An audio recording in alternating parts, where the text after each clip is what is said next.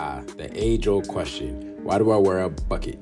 All right, so when I was in sixth grade, I wore a speed for the first time. You feel me? Loved it, dumb, comfortable, like, loved everything about it. But then my senior year of high school, our head coach made all the starters wear the speed flex, and I'm not gonna lie, I hated it. Like sweat got in my eyes, it was heavy. Yeah, I just did not like it at all. So I get to prep school, rock the speed again, and you know I'm just thinking it's my helmet. You know, it's the helmet I'm wearing for the rest of my career. I mean, you see, even my freshman year at Michigan, I was rocking it. But at the end of my freshman year, one of my older teammates asked me why I was wearing this heavy ass helmet. I'm like, what you mean? Like the speed later than the speed flex? He's like, nah, you tripping. You gotta get a Schutt. Next year, I made the switch to the XP, and I ain't never looked back.